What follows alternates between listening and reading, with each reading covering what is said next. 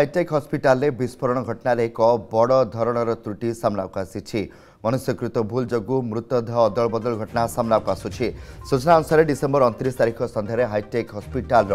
AC compressor ମରାମତି କରାଯାଉଥିବା ସମୟରେ ହଠାତ୍ କମ୍ପ୍ରେସର ବିସ୍ଫୋରଣ ଘଟି ନିଆଁ ଲାଗିଯାଇଥିଲା ଯେଉଁଥିରେ ମୋଟ ଚାରି ଜଣ ଗୁରୁତର ଆହତ ହୋଇଥିଲେ ସେଥିରେ দিলীপ সামନ୍ତরায় ডিসেম্বর তিরিশ তারিখে মৃত্যুবরণ করে জানুয়ারি এক তারিখে শ্রীতম সাউঙ্ক দেহান্ত হয়েছে অন্যপক্ষে জ্যোতিরঞ্জন মল্লিক এবং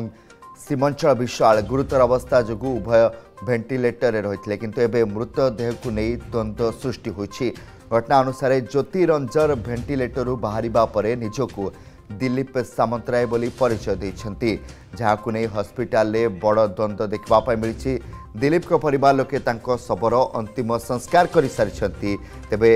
ତାହା ଜ୍ୟୋତି ରଞ୍ଜନଙ୍କର ଶବ ବୋଲି ଦାବି ହେଉଛି ଏନେଇ ଉଭୟ ପରିବାର ହସ୍ପିଟାଲରେ ଉତ୍ତେଜନା ସୃଷ୍ଟି କରିଛନ୍ତି ହାଇଟେକ୍ ହସ୍ପିଟାଲର ସୂଚନା ଅନୁସାରେ ଯାହା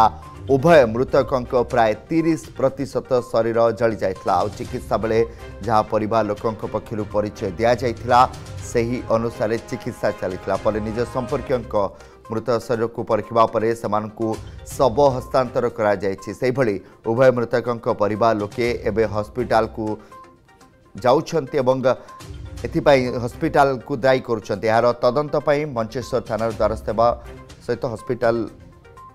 ଅଧିକାଲୋଚନା ପାଇଁ ଆମ ପ୍ରତିନିଧି ଦୁର୍ଗା ମାଧବ ରହିଛନ୍ତି ଦୁର୍ଗା ମାଧବ ଯଦି ଦେଖିବା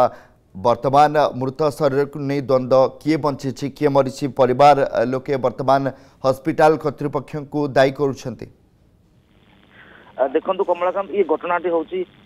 ଗତ ପାଞ୍ଚ ଦିନ ତଳର ଘଟଣା ଛଅ ଦିନ ପାଖାପାଖି ଘଟଣା ଇଏ ସେ ଦିଲ୍ଲୀପ ସାମନ୍ତରାୟ ଜଣେ ବ୍ୟକ୍ତି ଯିଏ ଯାହାର ମୃତ୍ୟୁ ହେଇଥିଲା ମାନେ ଖବର ପାଇଥିଲେ ଖବର ପାଇକି ତାଙ୍କ ସ୍ତ୍ରୀ ଆତ୍ମହତ୍ୟା କରିଥିଲେ ଗୋଟେ ପ୍ରାଇଭେଟ ହସ୍ପିଟାଲ ଭିତରେ ତାର ଖବର ପାଇ ତାଙ୍କ ସ୍ତ୍ରୀ ମଧ୍ୟ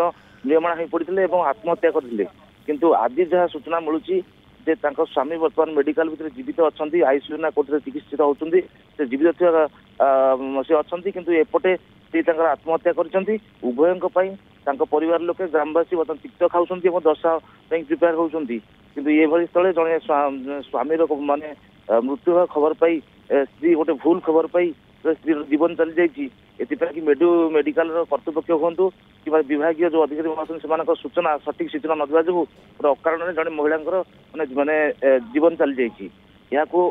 स्थानीय अंचल बृहत निंदा करो मेडिकल जो करतृपक्ष जो रूल सूचना देखते दृढ़ कार्यक्रम दावी करती কমলাকান্ত তবে হসপিটাল পক্ষর কিছু প্রতিক্রিয়া বর্তমান সুদ্ধা মিপারছে কি কারণ সঙ্গীন অভিযোগ এবং মনুষ্যকৃত ত্রুটি যোগ যেমন আপনার কৌন জনক জীবন বি গলা বর্তমান বি দুইটি পরিবার দ্বন্দ্বরে ଦେଖନ୍ତୁ କମଳାକାନ୍ତ ସେ ହସ୍ପିଟାଲ କର୍ତ୍ତୃପକ୍ଷଙ୍କର କୌଣସି ସ୍ପଷ୍ଟ ସୂଚନା ଆମ ପାଖରେ ମିଳିପାରେ ନାହିଁ କିନ୍ତୁ ଯେତିକି ସୂଚନା ମିଳିଛି ସେଥିରେ ତାଙ୍କ ସ୍ୱାମୀ ବର୍ତ୍ତମାନ ଜୀବିତ ଥିବା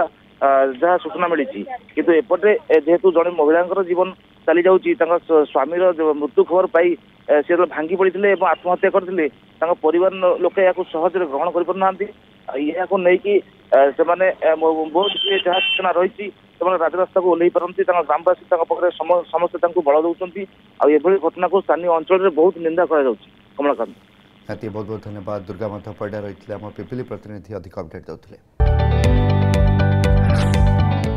जदि आपण को आम भिडी भल लगा तेब आम चेल्क लाइक सेयार और सब्सक्राइब करने को जमा भी बुलां नहीं